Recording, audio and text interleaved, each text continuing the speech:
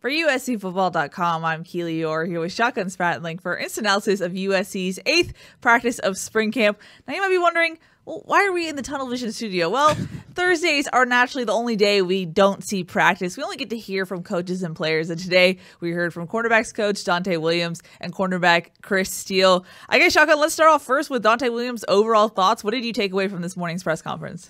I mean, the fact that they are being able to put their own stuff in, that was one of the things that he said that, you know, last year in fall camp, because they didn't have spring camp last year, they were basically focused on their opponents and what they were, you know, what, what they were going to be seeing. So they're running a lot of plays and seeing a lot of plays that the opposing offense would be doing instead of focusing on their individual players. And he says that the defense has been able to do that a little bit more during this spring camp. So I think that's really big for them, and he's seen some growth from them in the because of those that ability to focus in on individuals rather than focus on the plays that they're going to be running against eh, on the Saturday. Um, so I think that was one of the big things that stood out, and that hey, it's an open competition. Every single day is going to be an open competition. You know, someone asked, you know, who who's you know who's the front runner for that cornerback spot opposite of Chris Steele, and he said Chris Steele. He didn't got a job yet. You know, no one gets a job in, until the Saturday of the game. So you know, he that's his mentality. It's always going to be competition, and I think that you're definitely seeing that from his group that they are going to be competing the entire time. Now, when we get to hear from a position coach, usually we try and sprinkle in questions about certain players, try and get as much individual info as we can. It's hard though because the depth chart is usually super deep. But today we got to ask as many questions as we wanted because there's only four scholarship cornerbacks on the roster right now. So I guess let's run down player by player shotgun. Uh, Isaac Taylor Stewart, that's a guy who uh, Donte said that is progressing every day, but consistency is key for him. Yeah, definitely. That's the one thing he said that he has all the skill set that you're looking for in a cornerback, but he's got to put it together. He said two plays in a row is not enough. He said you can't have two good plays and one bad play. That's when you're getting burnt behind, uh, you know, getting a ball over the top of you or something. So you know, it's about consistency for him. And he said he's taking some big strides there. And he was the guy that you know uh, that Donte was asked, well, is he kind of taking the step forward and, becoming that that uh, you know the the other starter on the other side beside Chris Steele? And he said, no, there's going to be competition the whole time, and that's something you know you're seeing those young guys are making some plays. Isaac Taylor Stewart, I think, has taken a step forward this spring, but he's got to continue to make plays and do it throughout the spring and then into the fall as well. Now, for the other six, uh, Josh Jackson, that's a guy who switched from wide receiver to cornerback at the end of last season. And Donte Williams said, You know, I knew he had talent, but I wasn't sure if he was going to have that defensive mindset. What do you have to say about the other six? Yeah, you know, he thought he would have a defensive mindset because when he was at Oregon, he said, When I was at another school, he didn't, didn't mention Oregon Don't by want name, to name it. but he said that, you know, when I was in another school, I actually offered him as a cornerback. And so, you know, he had seen this potential skill set there, and he said, you know, the first five yards is the back pedal. That's the, you know, that's the part that's new. He said, but then after that, he turns into a receiver. Let's go get the ball. That's what they want him to do, and that's what Joshua Jackson has done really well. But he said the one thing he didn't know is about that defensive mindset to come up and make a tackle. And he said he's been really pleased with the fact that Joshua Jackson is, is throwing his body in there, willing to go take on blocks and go in and make tackles as well. So he's been a guy that's really impressed us so far this spring, and I think he's impressed Donte Williams and the defensive coaching staff so far as well. Mm-hmm. The next guy we heard about was Jaden Williams. He's a guy who we've noticed we've seen flashes of 14 each practice. What did what did Donte have to say about him? Yeah, I think he's been a standout the last week or so. You know, he had a you know a pick six on Saturday. On Tuesday, he had another interception. And Donte said that he's taken a really big jump because he's focused on you know the mental aspect of it. He said once he's able to comprehend and, and, translate everything that he's hearing from the coaches and put it to work on the field, then it becomes 90% mental and 10% physical. That's what they want out of their cornerbacks. And he said, you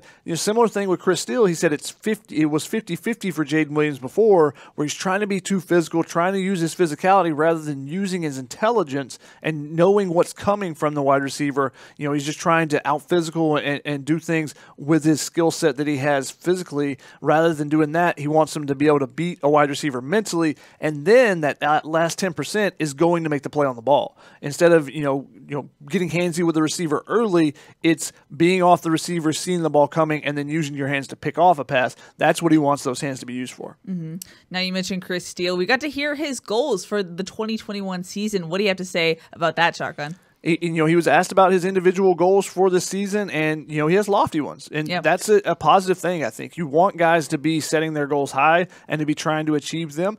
Are they out of the question? No, I, I think they're not out of the question. Those goals are going to be difficult to attain, though. The probably the easiest one is you know he has an individual goal of getting five interceptions in a 12 game season that's you know uh, quite possible for him he's got the you know in the similar to Jaden Williams he's been there. He's been in great position actually several times and had the ball hit off of him or you know be knocked it away but not being able to make that play. That's been an emphasis for him is to show his ball skills go and make plays on the ball and, and intercept the pass rather than just knocking it away or just being there with the receiver and allowing a catch and making an immediate tackle. Let's make a you know let's turn the game turn the tide and get an interception. So that's the first one getting five interceptions highly attainable goal i think there you know it's always difficult you know because it depends the more interceptions you get early in the season the harder it's going to be to get those because teams are going to stop throwing at you but i think that one's easily attainable mm-hmm. the next one a unanimous first team All American. Not just an All American. He doesn't want to be the college sports madness third team honorable mention All American. No, he wants unanimous first team All American status.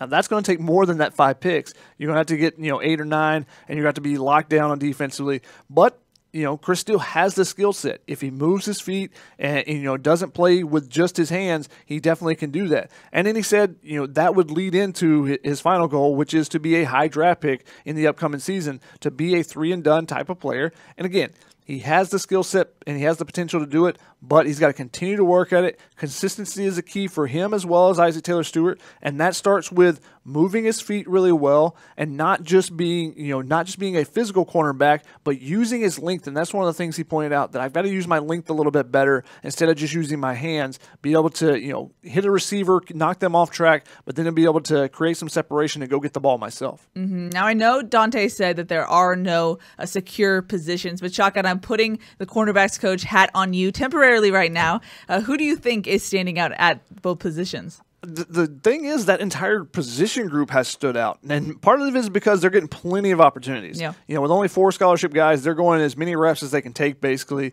But we've seen good flashes from everyone. You, you haven't seen consistently someone getting beat, which was the case in previous years. Even with Jaden Williams last year, you know, he was a guy that some of the wide receivers could pick on. I don't think that's the case anymore. You saw him actually in the first couple practices. Drake London got the better of him. I think he's you know stepped up and had a better uh, better run at that matchup in particular, and just had better practices overall the last two games or last two practices, excuse me. So I, I think that you know all the the cornerbacks have stood out. I think right now. Chris Steele's, you know, the incumbent. and I think it's going to be hard for anyone to knock him out of that position.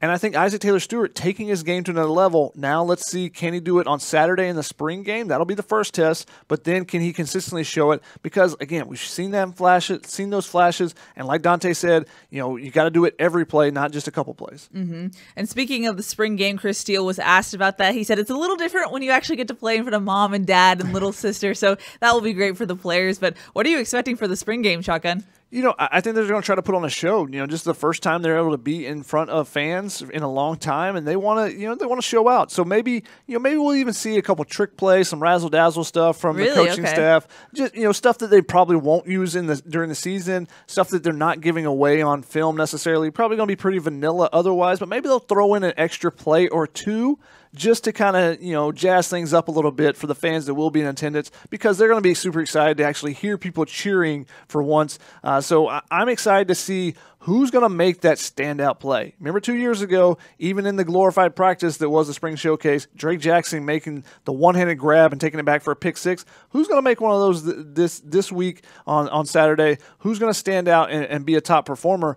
Is it one of those freshman quarterbacks? Are they going to make a throw that wows us? Is it one of those newcomers in the in the secondary, or is it one of these four cornerbacks? I could easily see someone taking a pick six to the house as well. Yeah, alrighty. Any final thoughts, Shotgun, before we wrap it up? No, I think it's an interesting group to watch just because there's so few numbers there. Yeah. They'll get some reinforcements in the offseason. They'll get Prophet Brown and get Ceyair Wright, add some more depth there. Um, but it, it's it's going to be a competitive battle, and that's that's fun to watch. Alrighty, that's going to wrap it up for USC's Thursday morning media availability, also day eight of spring camp. For Shotgun Spratling, I'm Keely Eure. For more, check out uscfootball.com.